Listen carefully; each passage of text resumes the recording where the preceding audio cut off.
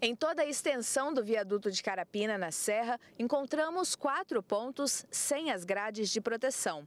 Algumas foram danificadas em acidentes, outras vandalizadas. Um dos pontos sem a grade de proteção é esse aqui, que agora foi sinalizado com essa faixa laranja. Só que esse espaço aberto é um risco para pedestres e ciclistas que passam aqui pelo viaduto diariamente. Isso porque, olha só a altura que perigo! São aproximadamente 10 metros de altura. Alguém precisava tomar conhecimento, né? Alguém que fosse responsável, né? Ou que fosse indicado responsável para é, sanar esse problema, porque isso aí é perigoso, passa muita gente, gente idosa, crianças, todo tipo de pessoas. Fica com medo de um espaço aberto desse assim, não? Ah, eu fico, eu passo aqui todo, todo dia.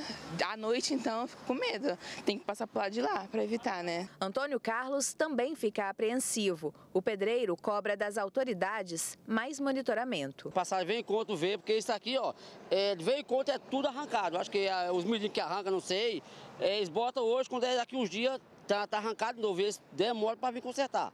O viaduto foi inaugurado há seis meses, com a promessa de desafogar o trânsito no município, mas o local já foi palco de brincadeiras arriscadas e de graves acidentes. Crianças foram flagradas escalando a parede em agosto. No mesmo mês, um carro despencou do viaduto e caiu em um campo de futebol. Ninguém ficou ferido. Pouco tempo depois, outro acidente. Dessa vez, um motociclista morreu após bater em um poste de iluminação e cair do viaduto. Os espaços abertos na grade de proteção ainda não foram corrigidos. A Secretaria de Mobilidade e Infraestrutura do Estado informou que já acionou a empresa para repor as telas de proteção e que incluiu guarda-reio no viaduto para aumentar a segurança dos usuários.